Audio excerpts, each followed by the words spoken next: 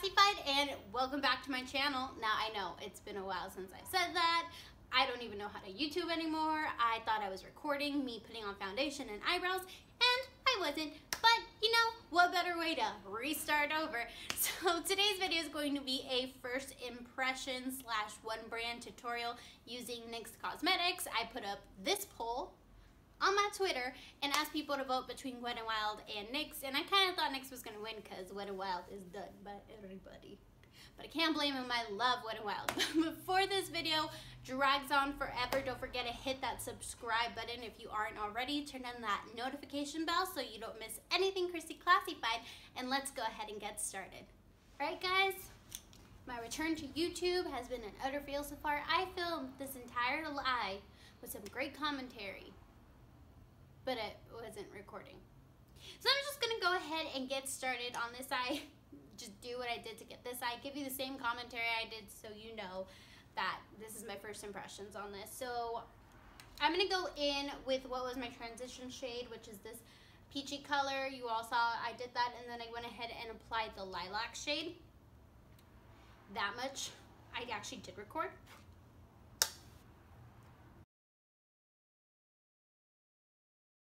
I'm like angry blending right now. I can feel my anger.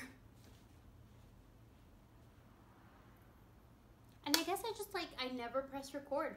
I thought I did, but I guess I didn't. A little frustrated at myself, but it's okay. I'll get over it. Don't worry, guys. I'll get over it.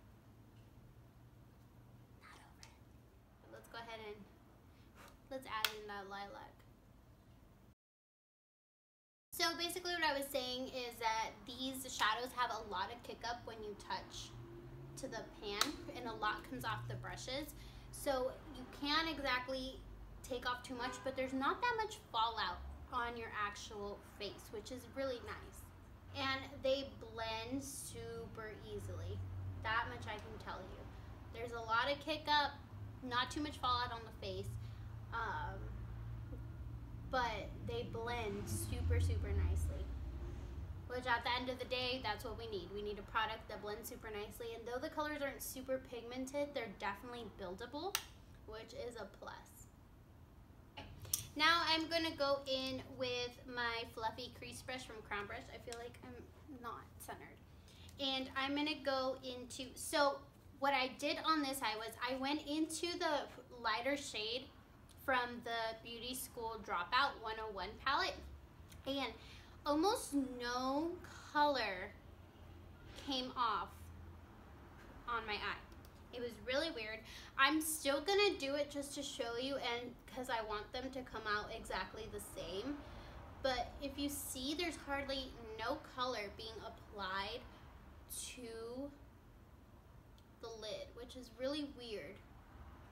And then when I tried to go in later with a shadow from the other palette, from this palette, it won't blend on there. So I did that with the lighter brown.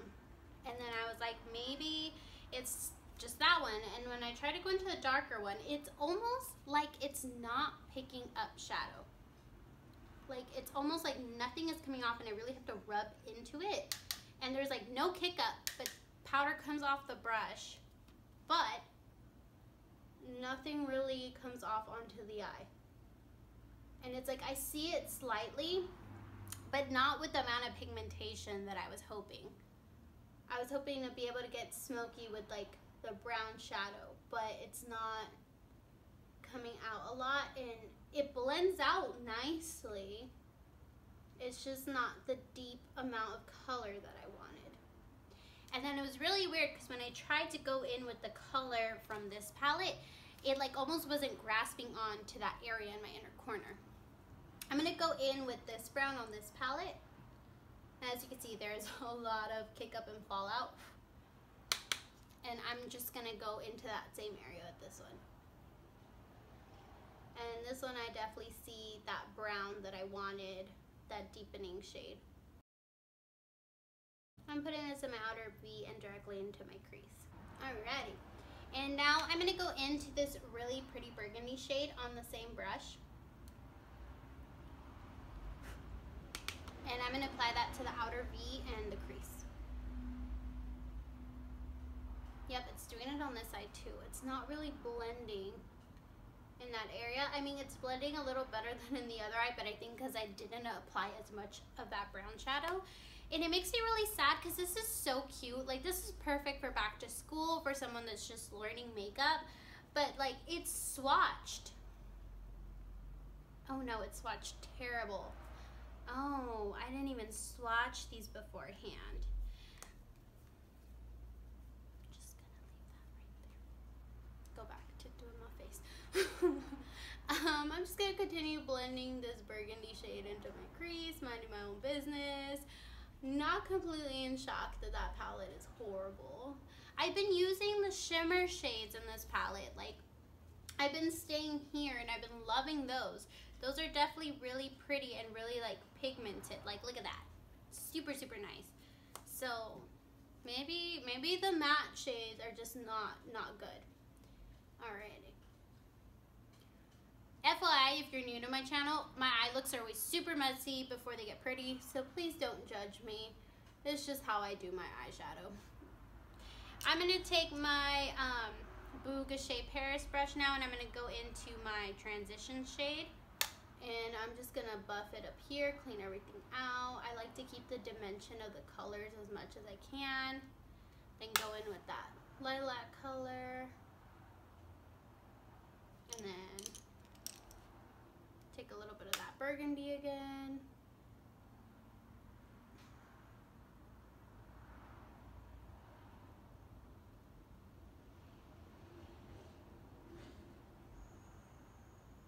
Okay. And now on a now on my crown brush blending fluff, I'm gonna go into this gorgeous purple because I am obsessed with purples and there was no way I wasn't gonna try this out. And I'm just gonna put this into my outer V. And a little bit into my crease.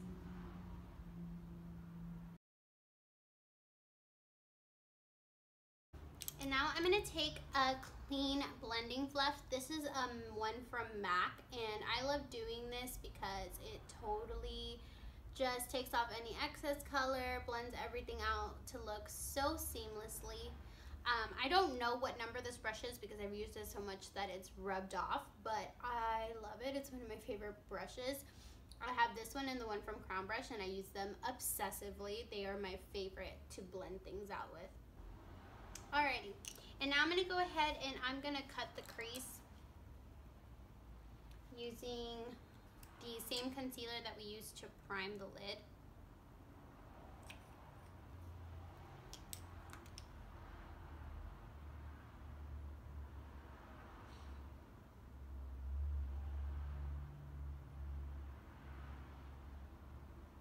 And this is a Boo Gouache Paris um, concealer brush.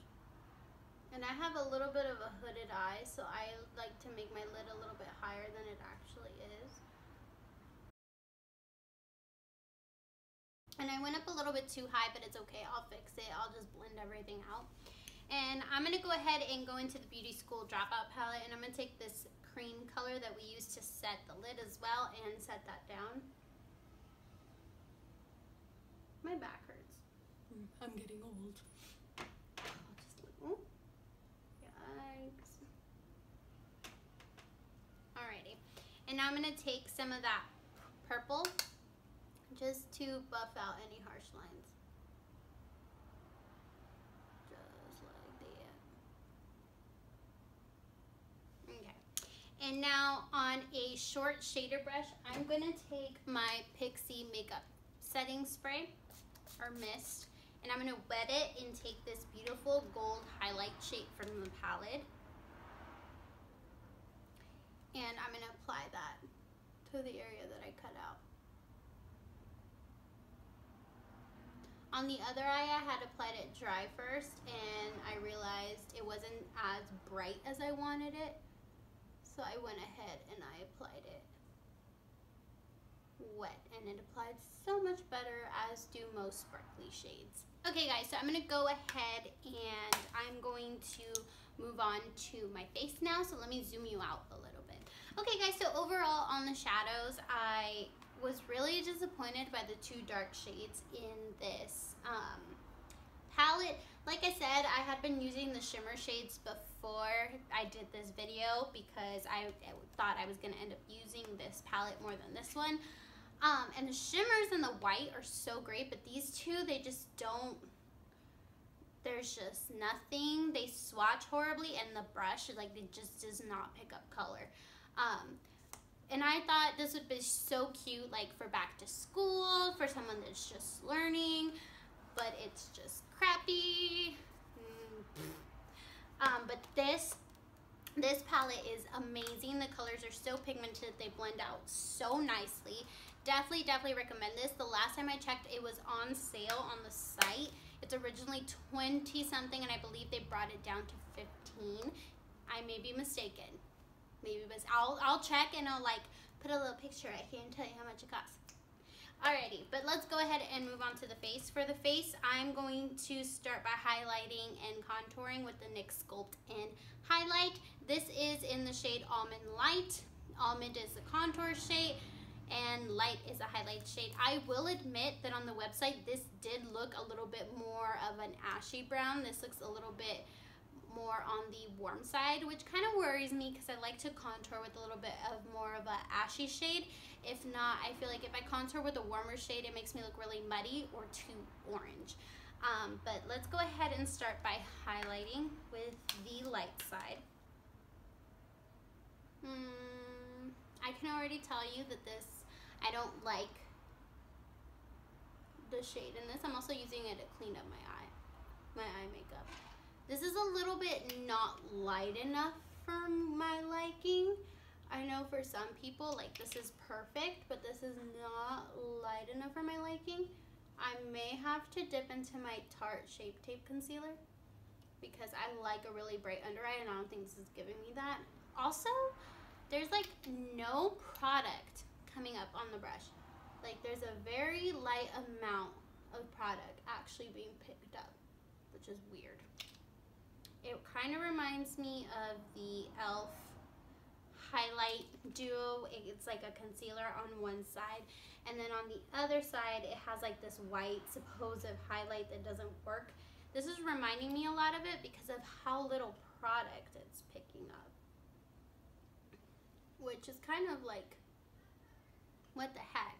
I'm definitely to apply a little bit of my Shape Tape. I have it around here somewhere.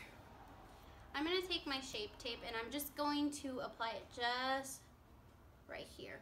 I really like a bright under eye, so I'm just to concentrate it right directly under my eye. Because, um, yeah, that is definitely not bright enough.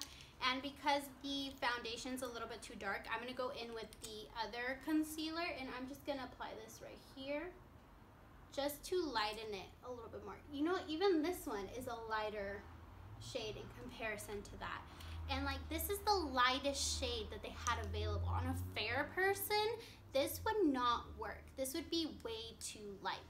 Um, I'll have to double check. I don't know if they had like a fair, but this was the lightest shade I remember them having. I'm gonna go in with my round top blender brush from Luxie. This is their 532 and I'm gonna go ahead and start blending everything out.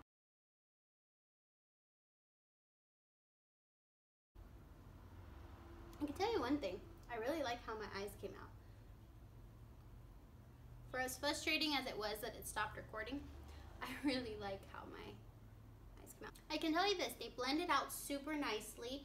Um, it does feel a little bit oily on the skin and I want to say that it's this one because I've used this before and this did not this did not get oily on my skin so I want to say that it's this one, and it could just be also because it's really hot right now because of the lighting. Um, but it feels like heavy. It did blend out really nicely onto the skin, and it didn't pick up any foundation. It just it just blended out really nicely. Now we're gonna go in with the contour shade, and it has, I believe, it has that same doe foot. Okay, now this picked up a lot of product, but it is warm. I can already tell, and I'm kind of scared. Okay, yeah, that's a little bit too warm for my liking and contouring, but we'll see. I'm just gonna apply it to my cheekbones for right now. And I'm not going all the way down. And depending on how it blends out, I'll go ahead and add it on my nose. Um, to buff this out, I'm going to use my angled top buffer from Luxie. This is the 534 brush. This is my favorite for cream contour. Um, it just helps everything blend out nicely. Mm, so personally, this is a little bit too warm for me. I'm gonna use the excess and bring it up on my forehead. This is a little bit too warm for my liking, just because I do like to apply bronzer after, and this helps me run the risk of looking too Oompa Loompa-like, and nobody wants to look like an Oompa Loompa. I know I don't. Um, but it's not horrible. It has a really nice finish on the skin. It didn't pick up the foundation. And this one surprisingly doesn't feel as oily. It does feel tacky to the touch, but it doesn't feel as oily as the concealer did. So that's a plus. Okay. Actually, it's not that bad. I wonder what it looks like on camera. But it's it's not so horrible. I'm really liking how my eyes came out though. so now we're gonna go ahead and we're gonna set everything. I'm gonna set the cream, the cream contour with the NYX Tango with bronzing powder. This is in the shade Tribal Odyssey. And it's one of those multi-dimension bronzers. And I'm just gonna take my Lisa Frank brush from Glam Doll, Glam, Glamour Dolls. And I'm gonna swirl that in there and warm up my face a little bit more. I love bronzers like this because I feel like they give such a natural glow to the face. This one has a little bit of shimmers in them in it, but it's nothing like too glittery or chunky. So it just makes your face look really nicely sun-kissed.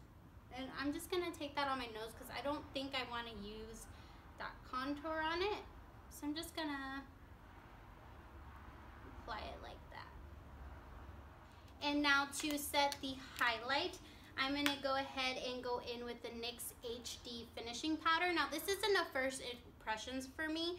I have used the NYX finishing powders before. They have a green one for redness, I believe a purple one to even out to brighten the skin tone. They have a banana powder one.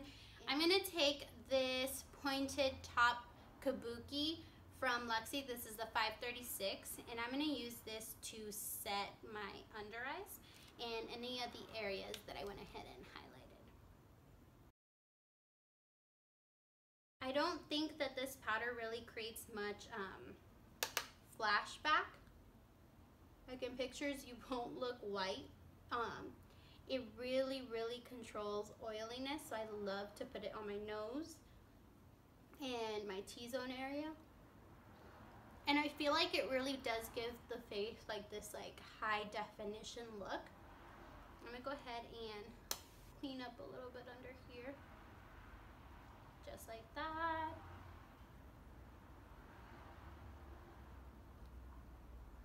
I do want to go in and apply a little bit of blush because I love the blush shade that I got. I'm mm. not a big blush person to say the least, but I love apricot peach tones and blushes. So I got this powdered blush in the shade Terracotta from NYX and oh my gosh, look at it. It's so beautiful. It's this top swatch right here. It is so beautiful. I'm going to take my Luxie 514 blush brush and I'm just to dab some of this on there. And I'm to wipe a little bit on the back of my arm because I'm not big on blush and just put this on the apples of my cheeks. And if you've noticed with most of the face products that I've used, like the bronzer and the blush, one swipe in the product is enough. You don't need more than that. And that's like amazing for such a like, uh, for such an inexpensive brand and product. Like their products will go a long way because you just need one small swipe and it, it covers everything, which is amazing to me. Okay guys, I'm going to do my eyeliner off camera really quick and I will be right back. But I do want to show you the eyeliner I got. I got the NYX Professional That's the Point eyeliner. So they have this eyeliner with different names and they all have different points. This is a really small, fine point. I don't know if you can even tell, but I thought this was perfect for me. Um, when I swatched on the back of my hand, it seems very watery, which is like a good thing and a bad thing. And I'm excited to see how it dries on the eyes. So let me go ahead and put this on off camera and I'll be right back.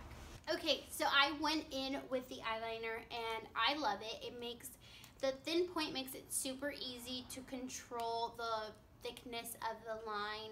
Um, and it dries down to a semi-matte finish. My only thing with this is that sometimes as you're going, if you press down in a certain way, it looks like it's almost like too much shoots out and I did it in this eye and it made me make the line a little bit thicker than I wanted but it helps to create a really nice cat eye. My eyeliner is so uneven right now guys. I haven't done eyeliner in a really really long time and it's just not working with me. I'm literally about to have one of those moments on camera right now where it's like, you know, you're fixing your eyeliner and it just keeps getting longer and thicker and crappier. Oh, I kind of fixed it. It's not perfect, but it's a little bit better than it was before. But you see how easy it was to fix it with this? It's just those moments where it like shoots out too much eyeliner and it causes you to fub up a little bit. Okay guys, so we're almost done with this look. I'm gonna go in with the NYX Trezzoli gel eyeliner pencil. I'm to start off by warming this up a little bit on the back of my hand as I like to do with most gel liners. And I'm to apply this to my waterline. I really was excited to try this because it's Kathleen Lights' favorite drugstore eyeliner. To this day, it's the one she uses. And I got mine in brown. Um, just because eyeliner tends to bleed on me because my skin is a little bit more on the oily side and I found when I get brown shades it doesn't look as horrible when it starts bleeding out. I don't look as raccoony. um, it's not applying as smoothly and as, as, as easily as I see it apply on her.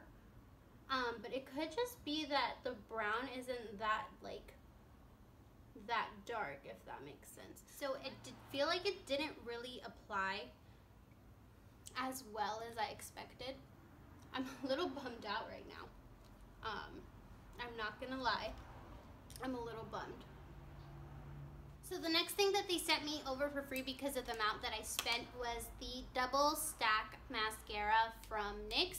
Now normally I find these mascaras to be super super gimmicky. It is one of those fiber mascaras and this literally looks like they took cotton swabs and just like a, stuck it in a tube. But I'm gonna go ahead and try it. You never know. It might work. Mm, probably won't but it might so it says to go ahead and start with the mascara first as the base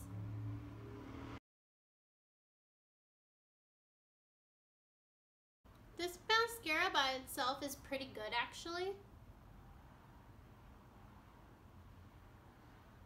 It really adds length to the lashes. I wouldn't say it adds volume, but it definitely adds some length. And then it says after that to go in with the fiber.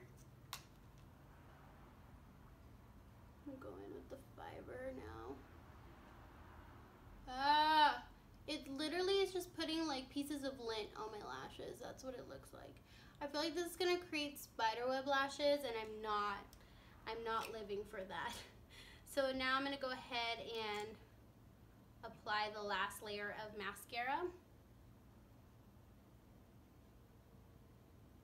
Okay, it did thicken them a little bit with the fibers. Um, to be honest, I feel like it just, as I applied the mascara, it just wiped off the pieces of lint that I applied to my eye. Alright guys, so I just did the other eye off camera and definitely the fibers, if anything, they add like a little bit of volume, but I don't think they really add like any like length or anything to your lashes. My eye watered and like you can see I had like one tear just straight down my eye. I made the under eye eyeliner go all over the place, but whatever. To finish off this look, I'm to go in with the NYX Illuminator. And I am to use... I'm to use my Me Me Me blush brush. I actually love this brush for highlighting. That's what I use it. I'm a little scared because this is a little too white for what I normally like for highlights, but kind of gives like a really nice sheen almost like my like Laura Mercier one or my Mary-Lou Manizer one. Not bad. Not bad. And it's not like chunky glitters. It's definitely just like a really pretty sheen. I was worried. Um, ooh, I actually really like this. I'm really like this. I'm excited to see what it's gonna look like on camera with the lighting. I'm, I'm, I'm not mad. I'm not mad, guys. So I'm down my nose down my nosy. Mm. On my lips. I do want to go in a little bit with this pink highlight from here. Um, I was swatching it a little bit earlier and it's kind of iridescent. And I'm just gonna, oh yes. Pop a little bit right here. Actually, actually, I'm gonna take this mini flat angled brush from Luxie. It's the 111 brush. And I'm to take that iridescent looking highlight and I'm to pop that into the inner corner of my lid. Not the inner corner, but into like my water duct. Yes. Oh my gosh. I'm living for this. Yes. Oh my gosh. I'm in love, guys. I'm in love. On my lips, I'm actually to go ahead and use the whipped from the whipped Fouet. I think that's whipped in French. I'm not sure. But it's the whipped lip and cheek color from NYX. This was sent to me in my Ipsy bag. And I'm to use this color on my lips because it's a really pretty, gorgeous nude.